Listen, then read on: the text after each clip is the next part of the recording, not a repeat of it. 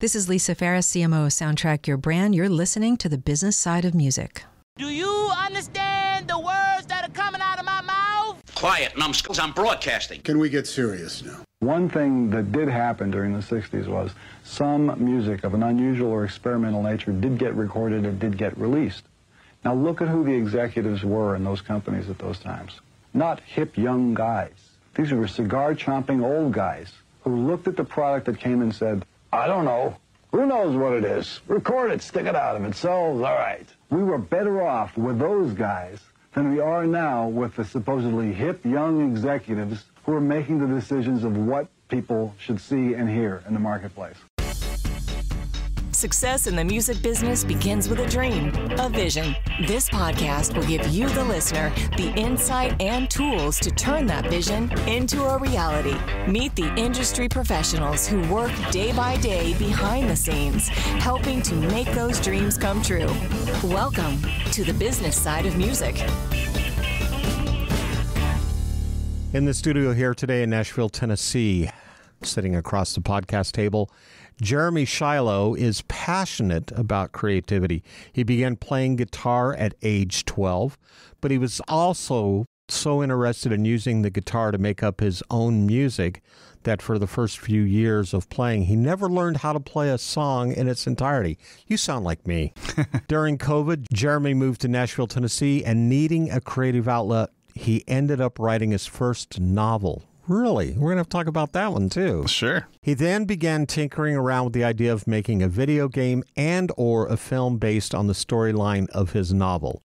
After a lot of research about the book, video game, and film industries, he discovered fledgling and unknown musicians, filmmakers, game developers, and writers all face the same three problems credibility, distribution, and funding.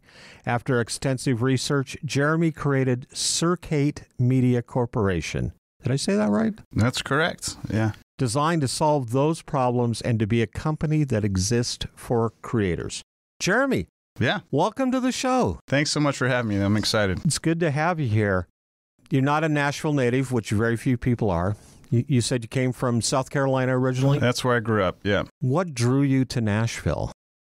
Music. Um, that's the main reason. Even though you never learned a song in its entirety. Well, I have now. Oh, you have now? Yeah. Okay, good. Just for the first few years of playing guitar, I didn't. I would just get distracted by making noise, you know, trying to figure out what the instrument could do. And, and I would steal little parts of things and try to write stuff from what I would learn. Like I would hear part of a song and be like, I want to know how to do that. And I would learn that one little bit and then try to make stuff up around whatever the technique or, or the idea was that I heard from whoever it was. So I think a lot of early songwriters probably do that while they're trying to find themselves. And and I'm assuming that at some point you figured out how to write a song, how to put one together. But you also wrote a novel.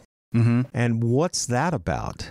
when I got here to Nashville, it was um, the middle of COVID, so there's not much to do with music, and I I wrote some songs, but I, This is a good chance to try something different. And when I was a kid, I, in addition to guitar, I really loved science fiction and stories and movies. I was a big Star Wars geek and all that kind of thing. So I said maybe I'll give it a go, and I just started writing. And um, yeah, I haven't published or anything, but I finished the whole draft of like however many eighty thousand words or something like that, which is not like a terribly long book, but it gets a, it gets into novel length at that point, and um, yeah, it was fun. What's it about? It is about there are seven main characters, uh, and this book ended up being about just one of them. I thought I could kind of fit all of them in there when I had the original idea, but it ended up really just being about one of them. And I think maybe it's more thematically driven, where the it's actually a story that's kind of about what is the nature of fiction, really, or what are the nature of stories. And so the idea is that this character ex- discovers that he's in a story and that there's a way to travel from one story to another story. And he starts to explore that possibility, and then these different characters cross paths through how they go from one story to the next. And yeah, that's the the basic idea. And it's it, this ties into you know another thing I've done, which is not my bio, but I I'm studied philosophy in college and grad school. And so I've always questioned, like, what's the nature of reality? And I think that was kind of at the heart of this writing project was what's, you know, how do I know the different, how do I know that Sherlock Holmes isn't real or something like that? Right. right? So Yeah.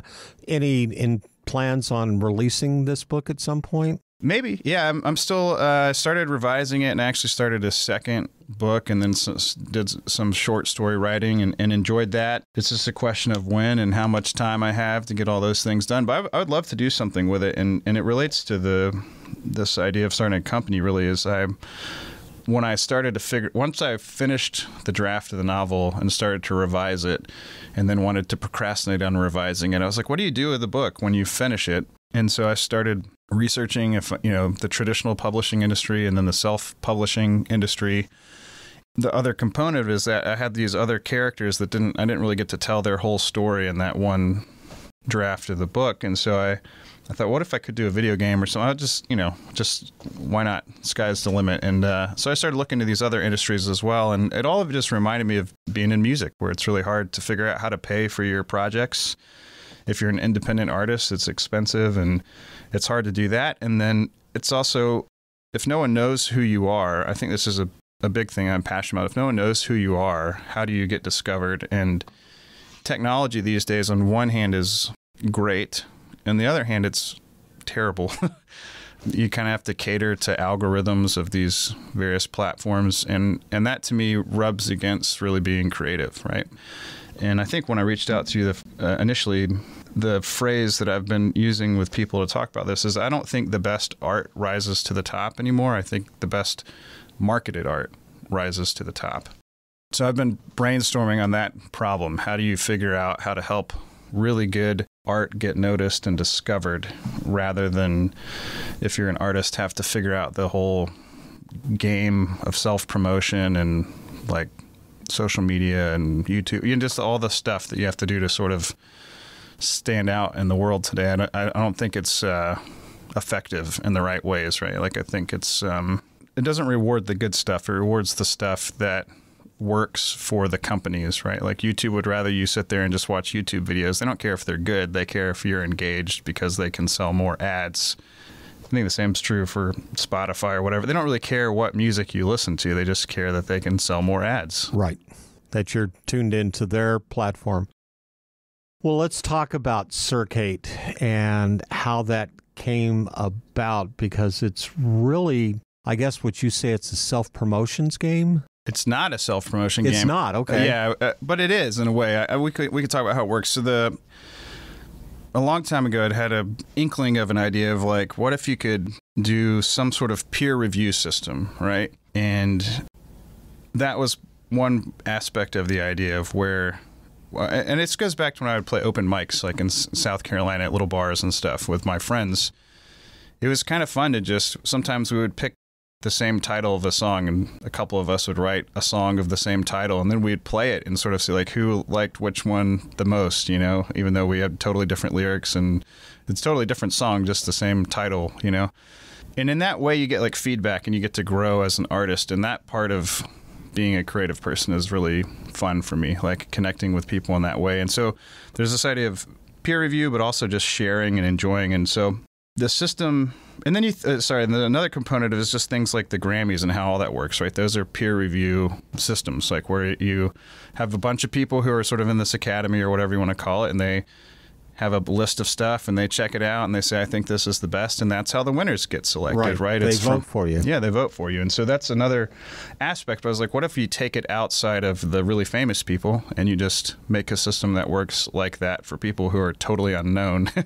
And you can't get any you know like you post your stuff on social media and maybe like your mom listens to it or something like that. And um, but that doesn't mean it's not good. And so I've been thinking, how do you kind of force interaction along those lines? And so the the, the heart of the idea right now is this um, to think of it like a game. So we could imagine that you had a song, and I had a song, and we'll say Dolly Parton was joining in or something. Each of us would put our song into the system, and it would it say it matched us up. Really, it's not that we get to pick who we play with; it would just sort of match you up with other people. And there's no way for like Dolly Parton's fans to vote they can't do anything. She she might have like a million people that would want to vote for her song as being the best of mine or yours, but they can't say anything about it because they're not part of the game. So it's just us three. So you we would listen to the other two people's songs. So you would listen to my song and you would listen to Dolly's song and you would just pick which one you thought was the best Of those two. of those two. You can't vote for yourself. So in that way it's not self-promotion. You have to vote for somebody else. It's nonpartisan. Mm-hmm. And then Dolly would choose between me and you, and I would choose between you and Dolly. And it allows for ties, so we could all vote for somebody different. And in that case, nobody wins. And that I think that's part of how life works and part of how art works. Like it's not always the case that someone's better than someone else, or that someone's song, I should say, is better than someone else's. But if two people agree, so this is the thing I think is kind of neat about it is say that me and Dolly both agree that your song is the best, right? So like I like yours more than hers and she likes yours more than mine. So you got two votes out of the three of us. And that would sort of give you a way to advance in the system. And, and uh, so there's a what happens in the platform I built is if you get voted in that way, you get something called a standing. And it'll move you onto a public list. So it's almost like a tournament. Almost like a tournament, yeah. Almost like a tournament for people who like sports and stuff. It's very much like that. So you'd get moved up uh, into uh, a higher rank in that system, like on the Billboard charts or whatever. Right now, you've got a ranking based on what two of your peers think, and then you would just go into another tournament. And if you keep winning, you keep going up. It's indefinite, like you can go up as far as you want, um, but it's dynamic in the sense that if you lose, you can go down, uh, which I took from like soccer, for example. You can get if you're a top tier team, but you finish in last place, you get relegated to the lower league, and then the next team from the lower league comes up. So this idea that it's dynamic, but it's all in good fun. It's not really about I don't know. It's not meant to say like you're a loser or something. like that. It's really just to be to But be it's a great way to test out yeah, your project, your mm-hmm. creative juices, so to speak. Yeah, and it's not even this big. It's not like you're putting out to Facebook or whatever else. It's just get feedback from peers. But my hope is if enough people use it and and it really becomes a place where good art is noticed and rises up like that. People who are just average music fans will go to this site and and say, "Wow, this one's like ranked really highly. I'm going to check it out." And they'll start to check out music that maybe they've never heard from artists they've never heard about. And one thing um, that I've talked, the folks I've talked about it, I think one thing that's exciting is if you're not very good at marketing, but you're a really good songwriter, then there's no reason you can't stand out in this kind of system. That's exciting to me because I, th- I think there are a lot of very talented people who are not very good at figuring out how to be heard. I think a lot of creative people have a tendency to be introverts more than extroverts. I know that maybe they get out on stage and they sing their heart out because they're very passionate about the music that they've written. But when it comes to one on one conversations or interviews or promoting themselves, it's almost like that part of the magic bullet's not there. Yeah, I agree with that. And I think being an introvert is a is an asset. If you're gonna, I mean, really, if you're creating something like songwriting or writing or whatever, you're doing that by yourself somewhere for a long time. Uh, not that you can't do that as an extrovert, but I think for an extroverted person, that would be a draining type of process, and for an introverted person, that's more something that fills you up, right? That being alone and creating thing.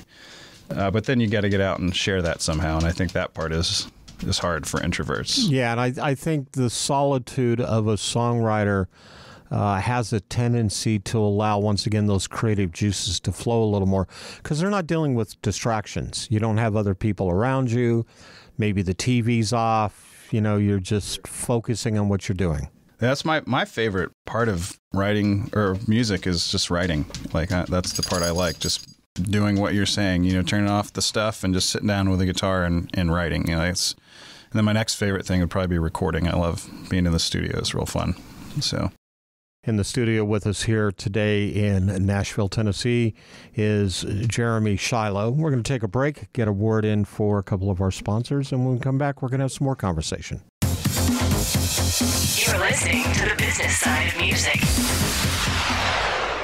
Hi, everyone. I'm Larry Butler, and I want to send you a free digital copy of my new book, The Singer Songwriter Rule Book 101 Ways to Help You Improve Your Chances of Success. That's right. Everything you need to know to launch your career as a singer songwriter, all based on my 40 years in the live performance arena. And believe me, I've seen it all. In my book, you'll find the 10 things you have to deal with before even thinking about becoming a singer songwriter performer. You'll also learn about the five things every singer songwriter can do this weekend to make their live show better. Five things I can guarantee that you are not doing already. Plus, there's tips on songwriting and staging, photo and video shoots, publishing, merch, dozens of other topics, all written for people who don't particularly like to read. And again, it's free. Just go to the Business Side of Music website homepage and look for my book cover. Click on it, and a free digital copy of my book will be yours. I'm Larry Butler, and I approve of this message. Thanks. Since 1963, Korg has been creating new experiences in music and performance. That is what drove the creation of some of Korg's most legendary products, such as the Poly 6, the M1, the Electribe, the Triton, the Minilogue, the Kronos, Wave State, Op6, and most recently the Nautilus, which is what we have here in our studio. Korg is dedicated to creating new, innovative, and uncompromising instruments which maintain the highest quality to inspire music makers, past, present, and future. Visit Korg.com or your favorite Korg dealer to get your hands on one of their products and start creating new music always. Korg, the official sponsor of the business side of music. You're listening to the business side of music. Back in the studio here in Nashville, Tennessee, Jeremy Shiloh is sitting across the podcast table. So we know what Circate is Mm-hmm. at this point. Let's talk a little bit of how it works and how the the creative person gets involved with it, if you don't mind. Sure. Yeah. Um, so it's a website. So you can go to circate.com, C A C I R C A T E. Now, is it up and running at this point? It- And kind of in a beta testing version. Okay. So you could create an account and sort of tinker around. There's a demo version, and you can submit stuff. And and I, um, I right now the thing that's most valuable to me is feedback because I've sort of built the thing that I would want that I think other people might like. But in reality, my brain only can figure out so much stuff, and I really want to to be building something that's exciting for creators who would want to do something like this. I think there are people who maybe are more interested in becoming famous or whatever, and that's maybe this isn't the thing for them. I don't really know, um, but I think there are a group of people that just love the craft, you know, and this would be a uh, just a fun thing to do as someone who loves the craft. And so how it works currently is. Um, you use links to stuff that already streams things. And right now I have it limited to Bandcamp, which is one of my favorite sites for artists. I think they're a very artist friendly platform. So you can put you can sell merchandise through Bandcamp if you want to. You can sell your music. It's uh, it's a really great site. And so the way it works is you to get into a tournament, you just submit a link to one of your songs on Bandcamp, and it takes that link, and that's how you would play. You would listen to the go to the other person's Bandcamp to hear their song. It's pretty straightforward process. It's just one little, you know, kind of like Google. You have a thing you type in and hit enter. You know, it just has a thing where you uh, put your link and hit submit, and then and then it'll connect you to other players from there. So, but we're in beta testing right now, and we'll be launching in January. And to kind of incentivize use, I've um, I'll be doing a competition with this, where there'll be a prize for some studio time and Yeah, stuff let's like talk that. about that. That's that's going to take place here in Nashville. Mm-hmm. So if we have a listener in Brazil, they would have to figure out a, a way to get here. Sure. Uh, Yeah. travel costs and lodging aren't involved, but they could still submit something and, Sure. and Yeah. possibly be a part of that tournament. Absolutely, yeah. So the the prize, and this is w- w- um, there's an independent artist fund that uh, I was connected with in town that's sponsoring it. So they're the ones who are paying for the studio time, which will be at Sputnik Sound, which is a studio here in town, kind of where right over near Blackbird and all the other studios. It will be with Mitch Dane, who's a Grammy winning engineer. So it'll be three days of time with Mitch. He's a really good guy. I've worked with him before, which is cool. It's a great studio, and the package would include if you wanted to, it's just time, right? So if you wanted to have bands come in, it would allow for that, and that wouldn't be like extra, or uh, sorry, musicians come in and play. Like if you wanted a full band thing, the package would kind of cover that. If you just wanted to sit there with an acoustic guitar or piano or whatever, by yourself and bang out as many songs as you can in three days, that's fine too. So you, it's just up to the artist who wins to decide how they want to use that time. Yeah, and it, it'll be slightly different than the thing where you rise in the standings. It's still the same three player tournament thing, but it'll be like multiple rounds of elimination so that we can whittle it down to the top three. And then the, one of the top three uh, who wins will get that prize. But it's not limited to the number of people that can enter to be involved in this. I mean, you could No. have several hundred people Sure. get Yeah. involved. Yeah. It's just this whole tournament process. Mm-hmm. Yeah, I like that idea because it really, I think, to me, it sounds like it creates opportunity upon opportunity because not only you're getting involved in this, but now you're starting to interact with other creative people Mm-hmm. of, of your kind, of your liking. Yeah. And uh, it's a great way to maybe get some, maybe mentoring each other or, Sure. or bouncing ideas off of each other. Yeah, and I hope this system connects people in that way. And um, as it gets more technologically advanced, I want to build in capacities where you can submit written feedback if you want to on somebody's music. and Say, man, I I love the chorus or the verse didn't do it for me, but the second verse was great or whatever. You know, so it can You've got the hook, but maybe you don't have the. yeah, yeah. And yeah. So, so it really can be about artists helping other artists in the pursuit of great art, right? Where it's not in the pursuit of my career and what's good for me, but in really just out of the love of music and the love of songs. Yeah, and, and I hope it's fun. Like I love to hear stuff I've never heard before, and, and, and to get a chance to be connected with the people who are equally passionate about the craft. So You talk about the beta testing Mhm. for this, and you're looking for feedback from people who will get involved in the beta testing aspect of this. Mhm. What are you looking for in particular? sign up and try it out and then email feedback right? That's uh like i don't like how this does that thing or i did this thing that i i thought the app was supposed to do and it it didn't work or what you know whatever. So you got software is a weird thing where there people don't always use it the way you think they will. And so there there can be bugs. And so that's what I've been doing with some friends is like working through trying to find if there's any places where there's bugs or whatever. I think I've got most of that uh, hopefully all of that sorted out and hopefully all of it sorted out by January. But um that is just part of the game you know when you and I built it myself and I so I had to learn how to code and and do the whole thing which was really fun but I'm also that's not like I was a professional software developer and then built this I was a guy who wrote songs and had a vision for this thing and didn't have thousands and thousands of dollars to pay somebody to build this and so I figured I better learn how to code and do it myself and so that's what happened So there's a website, obviously, and there's a phone app too. No phone app. It's all it's all through the website and the the main it will work on your phone. You just go to your phone and do it. And I don't th- think for the capabilities it has now, there's no real reason it would need to be on a phone app. Uh, certainly, at some point, that could be pretty cool. But the proof of concept, I think, will be enough on a website. And the nice thing about a website is it's not platform specific, right? So I don't have to You don't have to worry about Android and- or yeah, iOS or yeah, I don't have to like build two apps or whatever. So this is a, the most straightforward way to make it accessible for everybody.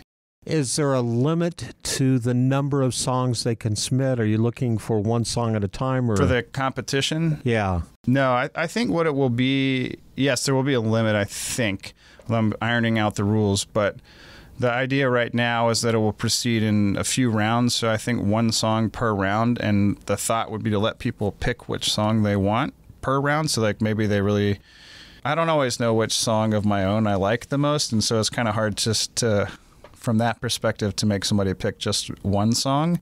And it could be the case where, say, the first round I didn't win, and I'm like, oh, maybe I should try one of my other songs. And so the thought would be that to allow that flexibility for people, so they're not stuck with just one song. yeah, song. that makes sense because the, the critical reception that you're receiving from your peers or that audience, like you said, yeah, I think this is the song, and then you go, eh, maybe not yeah, so you much. got to read the room, as it were. yeah, right. exactly. you know Yeah. and so i want to allow people to do that and i think also in the sense of playing a game it's fun to be able to have some strategy and so that gives you choices and i think that would make it more fun for people but it'd make it more fun for me at least so Yeah, and and I think that's kind of that's the key word here is it's it we talk about gameplay and whether it is or whether it isn't, but at the same time, you want it to be fun for the person that's using it. Yeah. Yeah. No one's going to use it if it's not fun, I think. Yeah. But, you know, it's not like an oil change in your car, which isn't super fun, but you kind of need it. It's not that sort of thing. So, I So hope I- it's fun. I want to jump way back if you don't mind Sure. because I hear these creative juices of yours flowing as you as you create this program, this software. Was this something you had been kicking around for quite a while or did it just pop into your head, you know, one night laying in bed? No, it's been a long it's been a long time coming, I think. I've been thinking about like as a musician, I mean, I taught I all I did for a living for almost a decade was music. Um, like almost the entirety of my 20s, that's all I did was I taught guitar lessons and played gigs and that was that was my income, which was fun. And uh, you know, the internet has changed things, companies like Spotify and stuff. And another component is I try I, I did a lot of cover gigs and stuff, and some friends of mine, and I did build an app for that would take like song requests for cover artists and stuff. Like if you're just at a say you're in Broadway and you hear some guy that's playing covers all day long, and you wanted to use your phone to submit a cover. That was the kind of idea there. It ended up not being successful project in terms of critical, you know, people taking it. But I learned a lot. Um, so there's that bit of the piece of too. So I started thinking about software for the first time. That was the first time I ever really started thinking about software, and that was 2016 ish.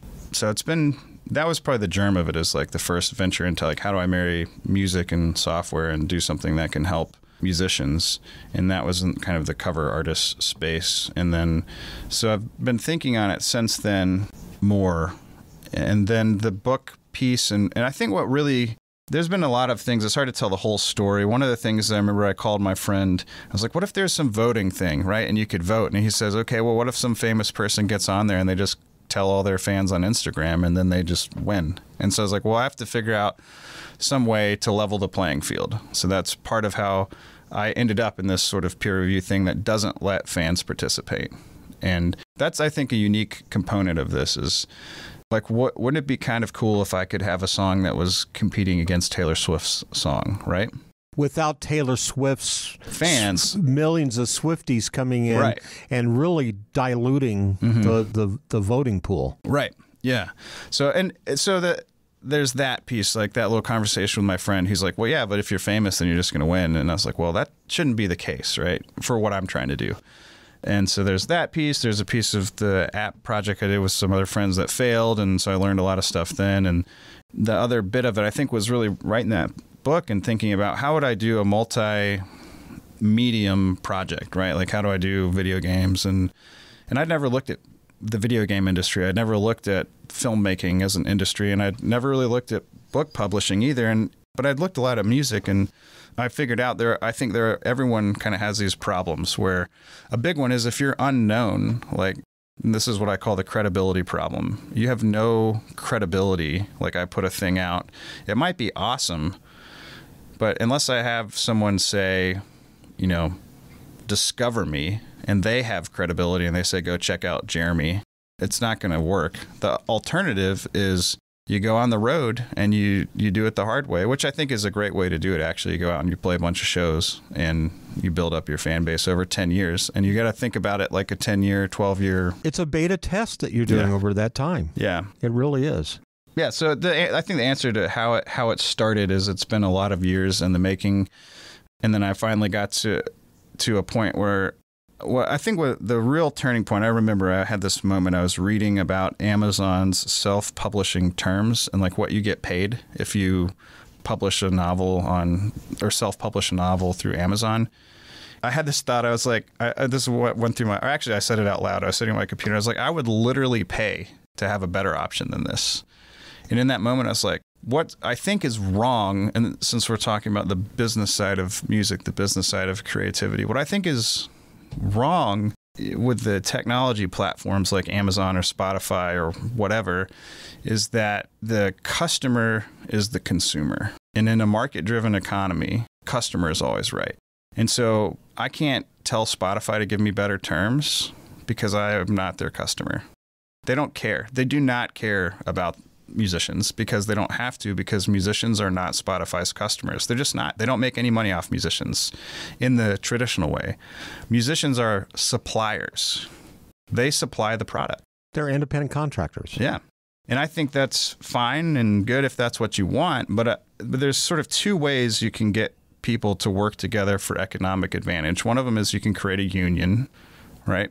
Uh, and there are, are unions, and you know, there's studio player union here. If you play in the studios around Nashville, you can join a union. If you go on tour, you can join a union, and and those things are okay. But the other way, I think, is you just work together as customers. And that's sort of what I think is the real thing I'm driving out here. Not to like start charging a bunch of money to artists, but to say if I can get a bunch of musicians to become customers of Circate, and by that I mean you make the demands, we meet the demand, right? It's just supply and demand. And that's why I've ruled out the fans. I don't want the fans to be my customers because I don't want to serve them primarily, right? I think they'll be served in a different way. If creators are set free to create what they want to, if musicians can write the songs that they want to and they can be creative in that process without Catering worrying to about market. The, yeah, Yeah. catering to the market, worrying about those Yeah. influencers. without worrying about that whole thing, I think there's some great stuff that's going to come out of that. And I think people will notice. So this is where I think it you shift if you shift it to you have a bunch of creators that sort of congregate together rather than in a union like a labor union or something do it as customers right? And they build then as customers they demand the platform that they want. And then they make the art that they want. People seek out great art. They really do. And i think people will find the stuff that people make if it's there at least that's the theory maybe it won't work but it, it almost becomes a co-op of sorts. yeah it's that's a good term yeah yeah, You're all under one roof, but it's a lot of independent resources working to help each other and help yourself at the same time. Yeah. Yeah, and uh, you know, I don't know, I don't know if it'll work or not. I don't know if I can get folks to work together in that way or not. I Um, think you can more so these days than say maybe before COVID Yeah, because people when when the pandemic hit around the world, it wasn't just here in the United States. yeah, You had to learn how to work independently and at the same time seek resources of other people to where you had to really help each other. yeah.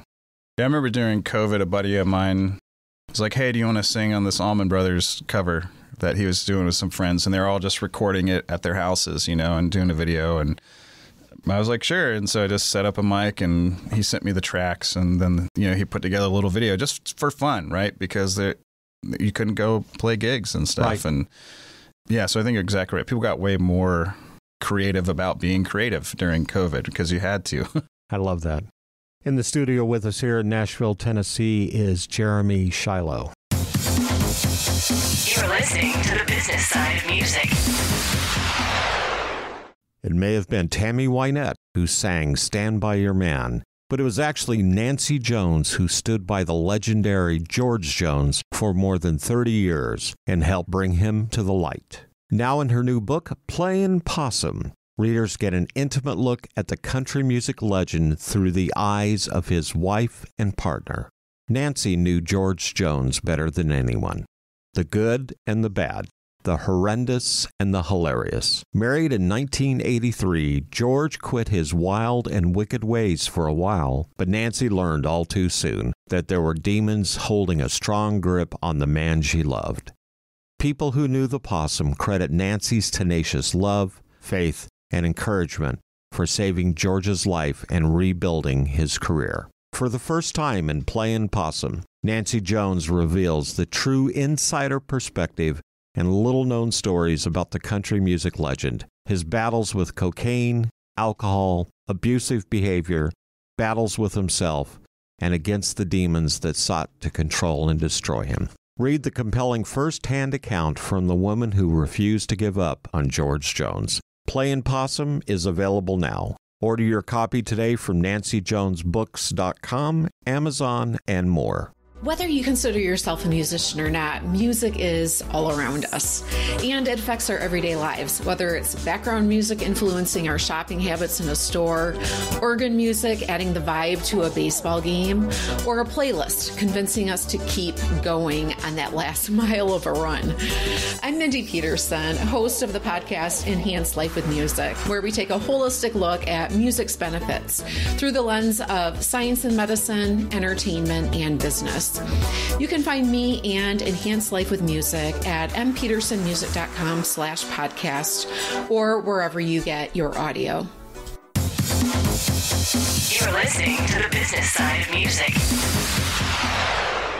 Back in the studio here in Nashville, Tennessee, business side of music, Jeremy Shiloh is sitting across the podcast table. When you talk about the Circate tournaments, Mm-hmm. Do you have a ballpark figure of how many tournaments there will be? Is that going to be based on the number of entries, the number of submissions? How's that going to work? For the songwriting challenge, Yeah. The I, so I had to figure out the math of how to work this out, and I, oh Lord, we're talking about math. I'm not going to get into it too much, but I actually uh, I got online. I was finding all this stuff like how do you run tournaments, and so I've been reading like research papers by people in sports science magazines and stuff who look at the fairness of tournaments and all that kind of stuff. And I think because the tournament, most tournaments is kind of a two teams, like like one team versus another team, or in tennis you have two players. What most engagements are that sort of way. This is three people. So it's not a two player game, it's a three player game. So that makes it a slightly different thing than you might look at, say, a March Madness bracket or something. So each bracket will be three people, and the best of those three will advance. And to the next round of three people. to the next and round that of one becomes part of those three. Yeah. yeah. And then to and to make that work, there will sometimes need to be byes, and that will be a random thing. So every once in a while, you might randomly be selected where there's not an exact number of three. Say there's four people left, right? Well, how do you make a three-player tournament? You have to give somebody a bye, and so they they wouldn't participate in a tournament, so they get one round out, and then you kind of so and then there's also something I had to c- come up with, which I call a wild card, which is sometimes you might have too few, so you might end up with like two. And in that scenario, what do you do? I don't have, I can't do a three player tournament with two, so I do a random wild card, which means I just randomly select from somebody who's already been eliminated that they get to come back in and compete in that tournament. So that's how that'll work out, so that there's always a, a one person wins, right? It'll go in three rounds. So instead of a double elimination, it will be three, like a triple elimination thing. So the first round, you will have, say, we have 30 players. You'll have you'll get grouped with two others, and then whoever wins will go to the next round. And if you don't, you don't. But yeah, that's okay. There's two other chances that you'll get. And the thought will be the first round will have a winner, okay, and then the second round that winner will not participate. They'll just sort of be set aside. In the second round, we'll have a winner. So now we've got two of our final three. In the third round, we'll have a winner. So we'll have our three of our final three. That will all be randomly seeded because I don't have any previous information. This is one thing, like in in basketball or whatever other kinds of tournaments, that you have previous information about how the rankings of the teams. I don't have that, so it's going to have to just be randomized. So uh, that's another reason for doing multiple rounds of elimination. Is it might be the case that the best three songs, for example, are together in the first round, and then two of them get knocked out. Well, then that's okay. We've got two other chances, and and hopefully in that way we can at least try to help ensure that the best wins and i don't know that it actually will i hope it does i hope that it will and um, i'm excited to try it out and, and really it's it's free for people to enter there's no downside i think you know One of the things I wanted to ask you is costs involved in this. Not for the artist, yeah. And and one way we'll try to level the playing field as well. Uh, for example, is you know you don't submit your full band recording, so the it'll be a cell phone demo is what I'm going to ask people to do. Like just get out your cell phone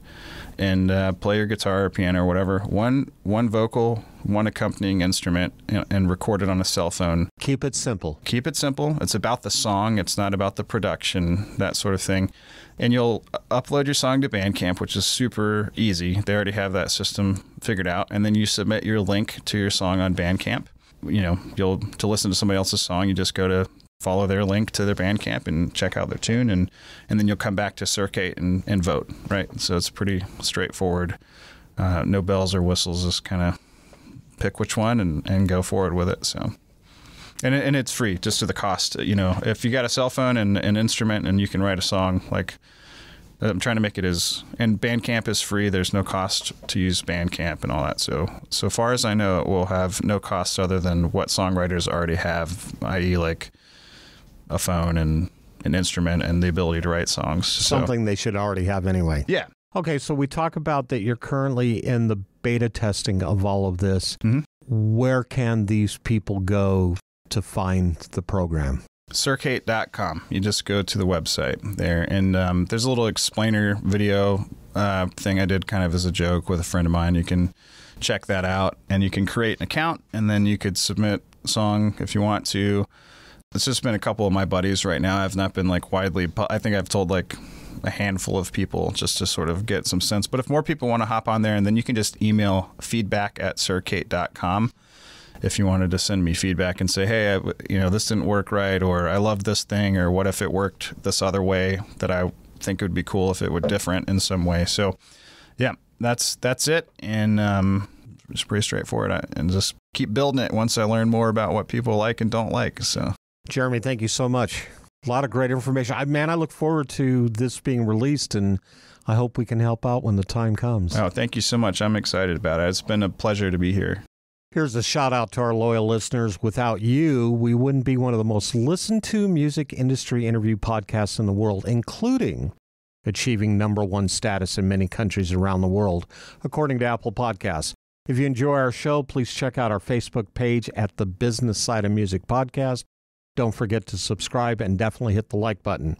While you're at it, go to our page on YouTube and click on the Business Side of Music podcast to subscribe. You can check out our webcasts on there and get to see me and our guests, such as Jeremy here sitting across the table in the studio, along with Buddy the music dog, who occasionally makes his entrance and exit. Last but not least, check out and follow us on Twitter at Biz Music Podcast. That's B I Z Music Podcast. Until the next time, thanks for tuning in. The Business Side of Music is the creation of Tom Sabella and Tracy Snow and is produced by Bob Bender. The Business Side of Music is recorded at Music Dog Studios in Nashville, Tennessee. Production sound designed by Keith Stark. Voiceover and promo by Lisa Fuson.